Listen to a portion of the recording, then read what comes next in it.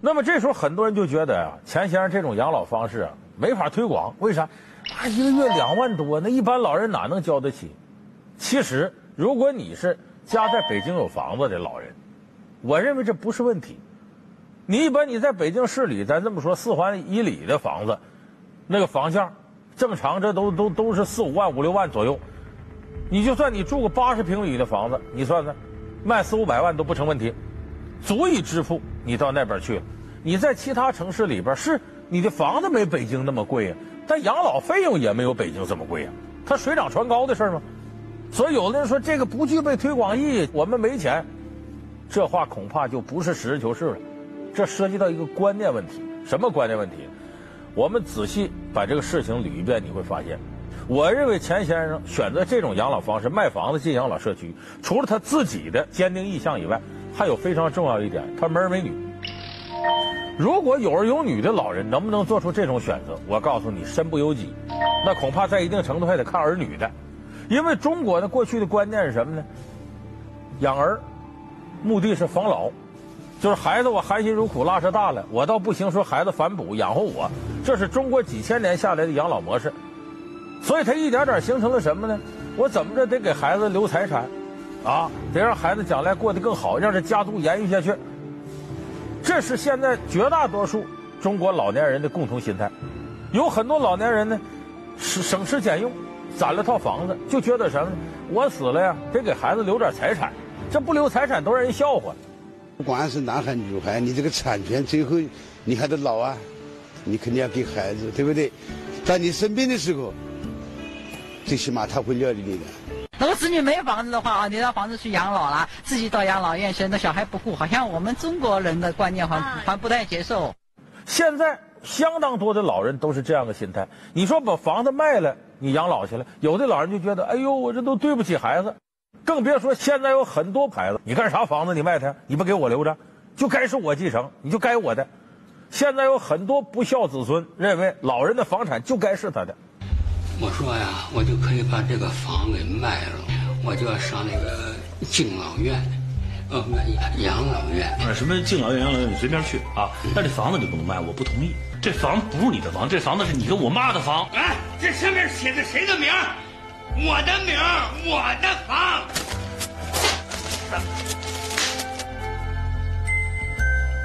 其实这就存在着一个两辈人之间的矛盾，甚至有一些孩子呢，挺孝顺的孩子，他潜意识里也觉得老人这房子该是我的。所以这时候出现个什么矛盾呢？如果你这孩子能够养得起老人，那老人当然愿意居家养老啊，共享天伦之乐。那要是你的条件不行，养不起老人，或者你压根就不愿意赡养老人，有条件也不愿意养活老的，怎么办呢？我觉得老人手里这套房产是他养老的保障，完全可以用这种方式卖掉房子，自己搬进养老社区的。反过来，作为孩子呢，拿不出那精力、时间、物质力量养活老人，还不让老人卖房，所以现在有很多有儿有女的老人没法卖房子养老，恐怕和这种有利于家族的自私观念有直接关系。就啥都想要，所以我是觉得这个事儿在一定程度来说，不是因为你很多人没有钱李群先生那些钱拿不出那些钱来这么养老，而是因为你的观念、你的家庭一些限制，无形间阻止了你做卖房子养老这种选择。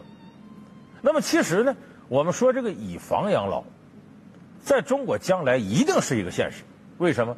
因为我们现在就即使这个儿女都愿意，都是愿意付出努力来养活老人。但问题是呢，中国进入独生子女时代了，这四二幺家庭比比皆是。有的孩子是有那心呐，没那个力。这孝顺这个事儿啊，是属于论心不论事，叫论事贫家无孝子。他有时候力量达不到。还有的孩子呢，他发展呢很好，可能去国外了，鞭长莫及，使不上劲。而且现在你看，就是说中国的老年人里头有很多这样的，比方失独老人，儿女都在国外的。事实上，这种空巢老人。他养老的时候，孩子不能在身边，或者孩子就没有这力量，那怎么办呢？他手里攥套房子。由于中国这些年经济的快速发展呢，房地产值钱了，所以这个成了他们养老最可依赖的资产。如果你把这个放弃掉了，那恐怕我们将来进入老龄社会养老的局面就会很尴尬，不那么乐观。所以我说，以房养老啊，在中国未来一定是一个要执行的东西。就会成为很多家庭自主的选择。当然，这个形式多种多样。以房养老呢，第一种形式就刚才我们看钱理群先生，他这个把房子卖了，进入养老社区进行这种交换。第二种形式呢，现在在很多城市里也挺普遍了，就有这采用这个方式。比方说老两口呢，呃，有一个身体不行，啊，或者卧床不起啊，或者总得需要人伺候，俩人的退休金加一块就这些，再请个保姆捉襟见肘，怎么办呢？我把这房子呀，比方我家三室一厅，我租给某个养老中心。这养老中心呢，在你家这块就办一个家居式的这个小规模的养老院。你家里不三间房吗？你们两口子在一间房，那两间房呢，还有俩老人搬过来养老，然后养老机构呢挣这些人钱，然后服务的时候呢，给你这三家的老人共同服务。他们还可以就是用那个以房养老的形式，可以让我们把这房子租给他们。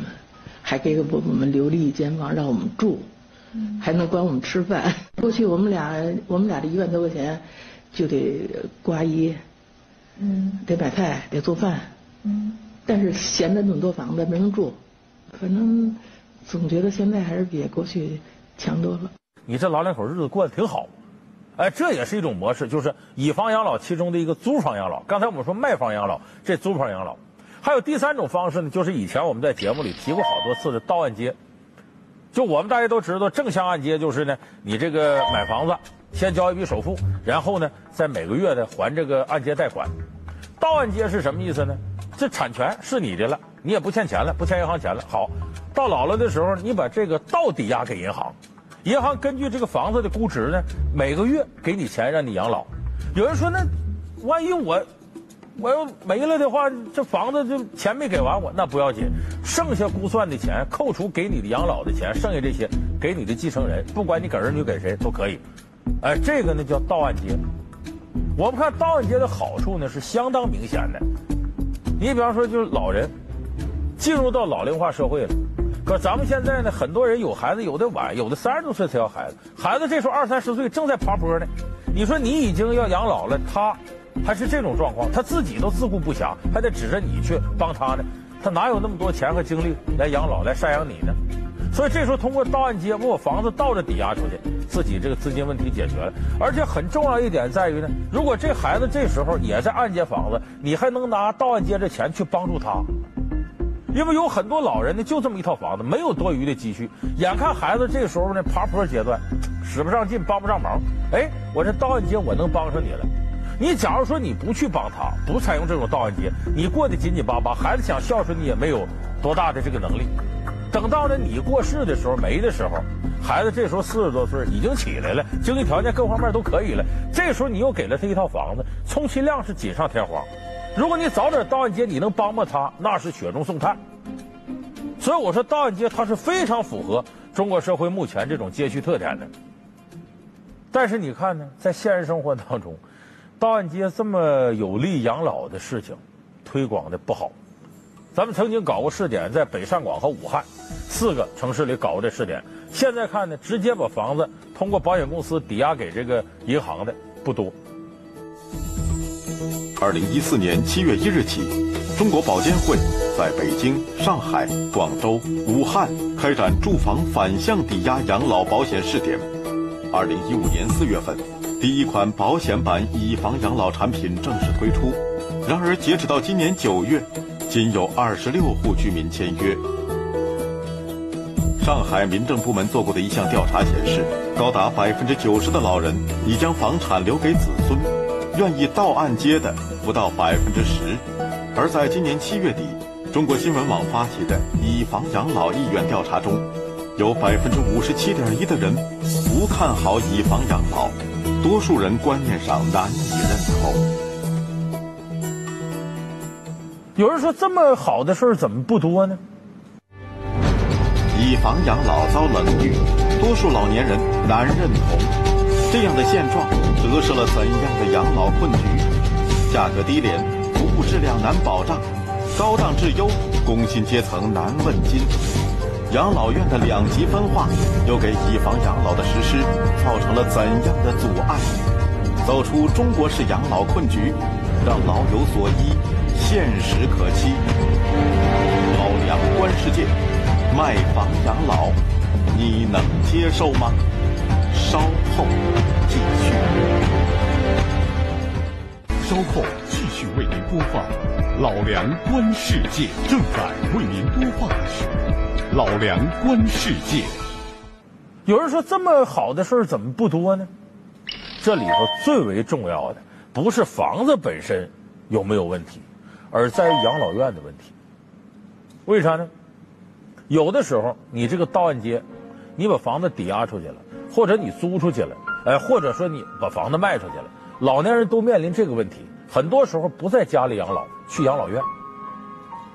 现在为什么说以房养老，把房子租出去或押出去之后？他很少有人这么选择呢，在于养老院那头的问题。因为现在从房子的特点来看呢，只要是你在城市里边三线以上城市居住，你这房子现在都能卖不少钱了。当然，你要边远农村小县城，这可能是例外。为啥？那个地方本身房价起不来，你卖它，你可能也不够支付你养老金的。因为养老需要硬件的投入和房价上涨这块之间，不是必然的成百分之百正比关系。可能你在一个县城里养老需要的费用和北京比，比方说比例是一比三，但是房价有可能是一比九、一比十往上，所以县城的或者边远农村的房产没那么值钱，这是第一个。如果说我们把局限仅局限在城市里三线城市以上的话，那么最突出的问题是养老院的问题。就说你把房子租出去了、抵押出去了、卖出去了，回头可能你要搬进养老院，但是这个养老院太难选择了。首先是呢，养老院的床位太紧张。中国现在养老院床位呢，但是和我们的人口比例呢，呃，等于有一个数字是大概百分之一点五九左右。呃，也就是说呢，我们现在一万个老人当中呢，也就能有一百五十九张养老院的这种床位。那么国际上一些发达国家都是百分之五到百分之七，哎，那就一万人当中有五百张床、七百张床，比咱们高很多。而且中国将来呢，随着老龄化社会的进入呢，这老年人会越来越多。那么可能将来进入敬老院的越来越多，结果敬老院现在一个床位少，再一个高低两端发展的非常不均衡。你比方说好的公立的养老院，北京有那么一家，据说你现在老人想进去，如果要排的话，得排到一百年以后进不去，根本。就现在事实是什么呢？比方说低端的条件非常差，有的老人搬进去没几天得搬回来，那里头吃不是吃，住不是住，医疗各方面都保证不了。相反的，还有的民营的高端养老院，是条件很好、富丽堂皇的，但是价格死贵死贵的，一般老年人根本承受不了。所以现在呢，就是高端、低端的养老院，造成大多数等待着通过房子养老要搬进敬老院的人，可以说高不成低不就。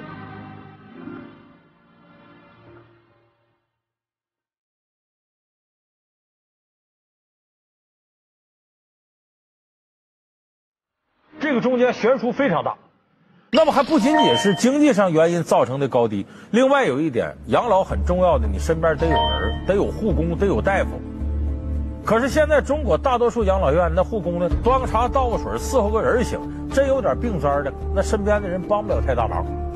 就医疗条件，再一个帮助老年人康复的这个条件，或者说其他文化娱乐活动这些，呃，能够满足老年人精神需求的条件都非常差。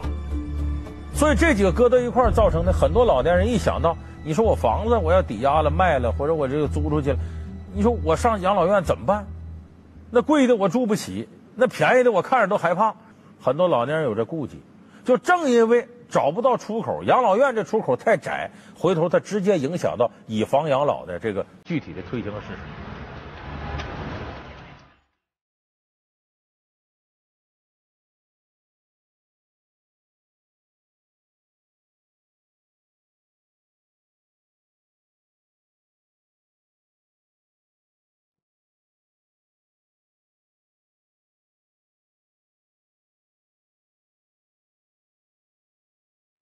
所以我说，钱理群先生这个卖房养老呢，